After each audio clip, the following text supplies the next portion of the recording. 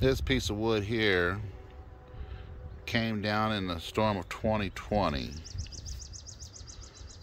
Haven't, only thing I've done to it so far is wash it and obviously got cut but um you know beat off some of the limbs and kind of just that's pretty much all that's been done to it so far. Interesting don't know how it's going to come out and look don't know what i'm going to do with it. Praise god. Whatever god inspires you know it's an interesting piece of wood. Very interesting. So it's going to be interesting to see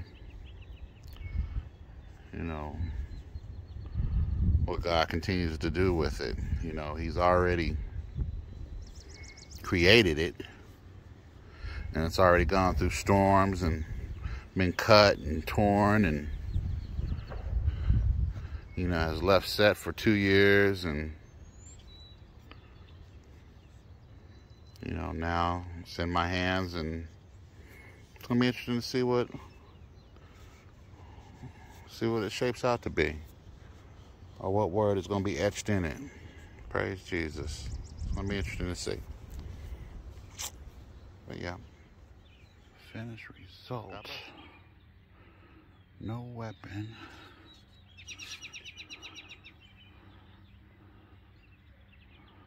Isaiah.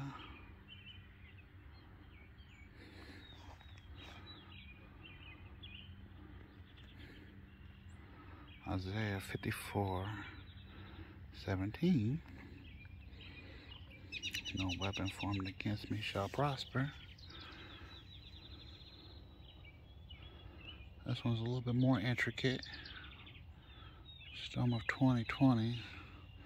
This one was carved out from. It's interesting. It's got a.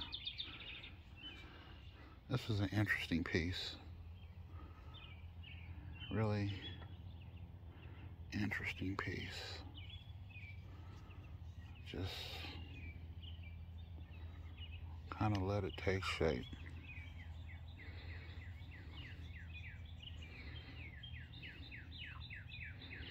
like the Word of God in our lives takes shape in each one of us. Different, but all the same.